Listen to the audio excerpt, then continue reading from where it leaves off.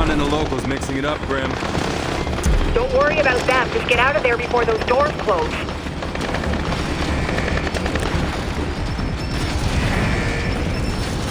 Keep moving. The doors are closing. Charlie can't hold those